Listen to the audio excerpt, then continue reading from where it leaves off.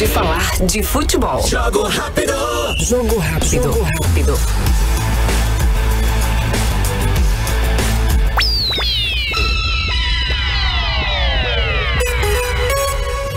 Muito bem, são 7 e 11, 7 e 12 agora, o relógio virando. Dia 20, terça-feira. Um grande abraço para você que está acompanhando aí o Comando 91 com volume de informação, com prestação de serviço. Acertou. Mas calma, que agora vamos falar de futebol dentro do jogo rápido. Para você que está acompanhando pela rádio NNFM e também pelo nosso canal no YouTube, o NN Play. E destacando o Asa. O Asa não está jogando em campo nenhuma movimentação, mas nos bastidores sim. Inclusive, segundo Eduardo Cardial, que vai trazer mais detalhes destas informações estão acontecendo encontros, almoços, jantares nos bastidores das eleições do ASA para o, o próximo biênio. Agora As eleições eu tô morrendo que, de fome é... e quero comer. As eleições que acontecem em outubro. E quem vai trazer informações é o nosso repórter Eduardo Cardial. Ok, beleza? Tranquilo, um abraço para você. Tô na área, chegando aqui no Jogo Rápido, trazendo informações do Alvinegro Alagoano e dizendo que hoje acontece um almoço da denominada Chapa 2, a Chapa da União. A informação que apurei ontem que tem um almoço hoje para discutir justamente a formação dessa chapa, os possíveis nomes que devem estar integrando essa chapa da oposição. Não que a situação não esteja trabalhando, tá também nos bastidores trabalhando um nome caso o presidente Rogério Siqueira não vá para a reeleição.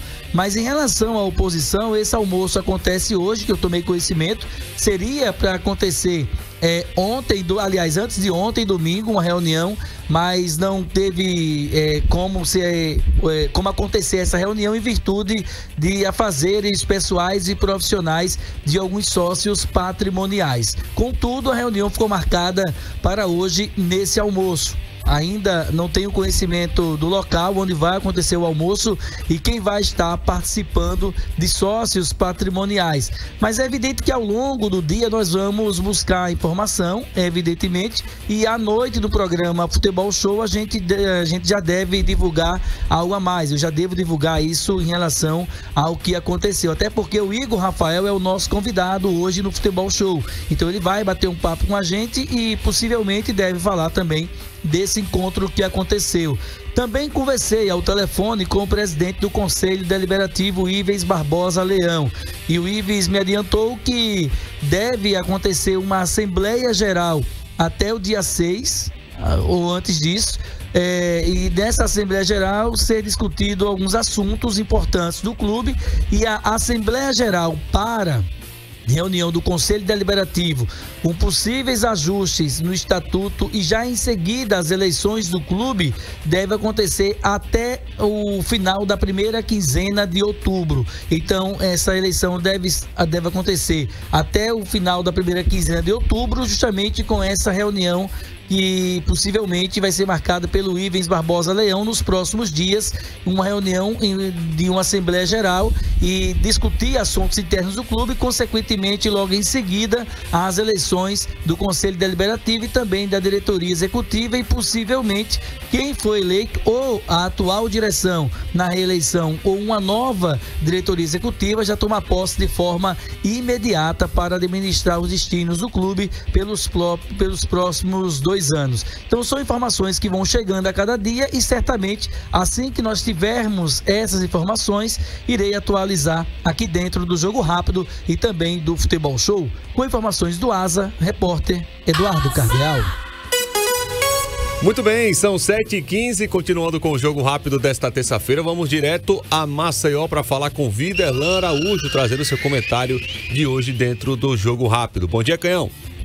Olá, amigos da NN, um grande abraço, um ótimo dia para todo mundo. Estamos de volta aqui na programação. O CRB vai para um jogo muito importante contra o Ceará nesta quarta-feira. Precisa vencer para quebrar uma sequência negativa na competição. O time não tem conseguido os resultados positivos nos últimos jogos e tem se aproximado da zona de rebaixamento. E isso, claro, tem levantado questionamentos sobre o trabalho do técnico Daniel Paulista.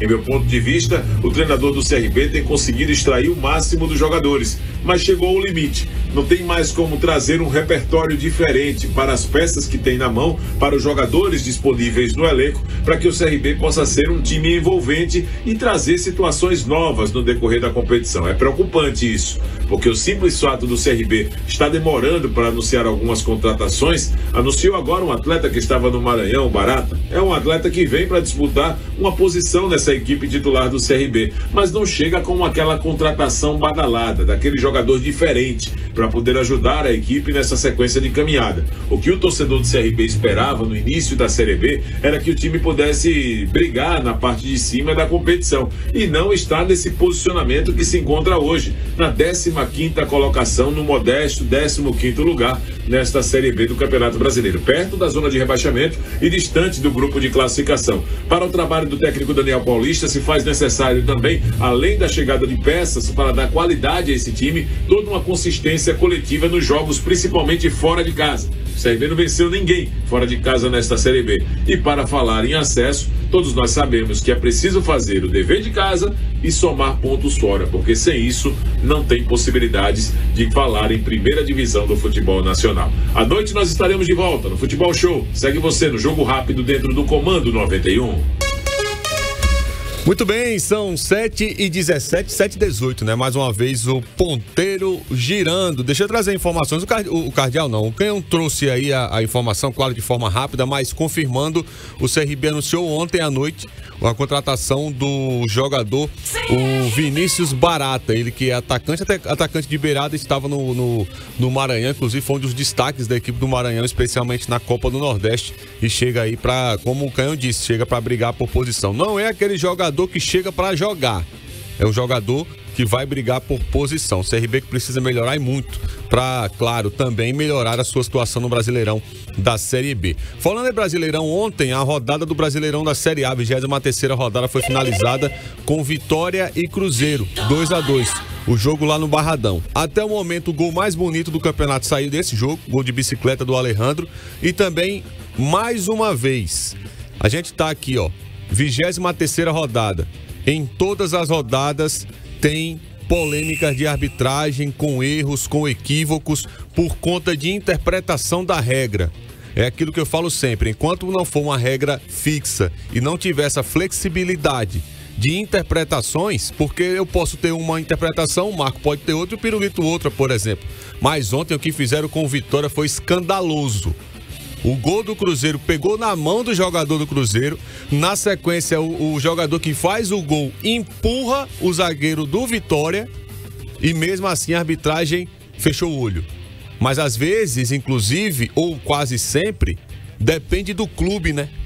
Vitória e Cruzeiro, Cruzeiro com mais investimento. Então é o que está acontecendo no futebol brasileiro. Parece que é, é, é sintomático. Parece que é uma doença crônica.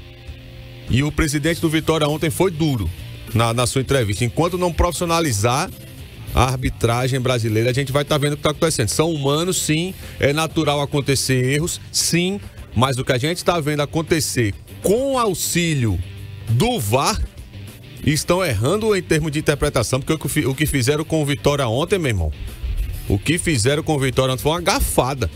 Gafada e das grandes, mas é aquilo que eu falo. A depender do clube, existe um peso maior para marcar ou não marcar. Infelizmente aconteceu isso lá no, no Barradão contra a equipe do Vitória. É a arbitragem do futebol brasileiro, infelizmente. Agora falando do, da, da, do, da Copa Sul-Americana e também da Libertadores, brasileiros em ação hoje, inclusive um contra o outro. Corinthians e Red Bull Bragantino vão jogar na Neoquímica Arena. Primeiro jogo, lá no estádio Santa Cruz, em Ribeirão Preto, o Corinthians venceu por 2 a 1 Os outros brasileiros na competição são Cruzeiro, que joga quinta-feira contra o Boca Juniors lá no Mineirão. O Atlético Paranaense que joga a quinta-feira também contra o Belgrano fora de casa lá no estádio Mário Alberto Kempis. Primeiro jogo o Atlético venceu por 2 a 1 e o Fortaleza que joga amanhã contra o Rosário Central lá no Castelão do Ceará. Lembrando que o primeiro jogo foi 1 a 1.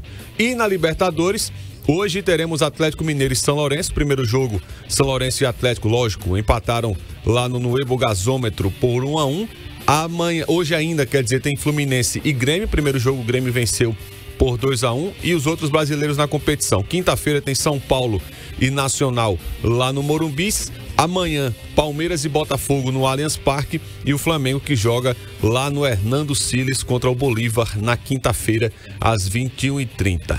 O Flamengo venceu por 2 a 0 mas tem que se ligar, porque jogar lá no Hermano Siles, irmão, é complicado pra caramba. O quê? Ah, sim.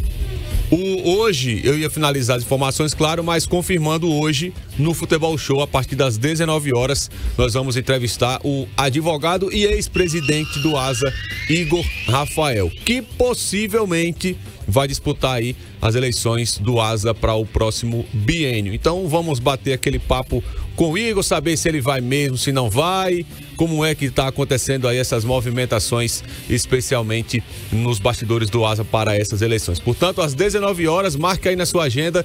Hoje o convidado do Futebol Show é o ex-presidente do ASA, Igor Rafael. Então, com esta informação, eu finalizo o jogo rápido de hoje. Eu volto mais tarde dentro do Futebol Show falando também de futebol. Grande abraço, bom dia para você.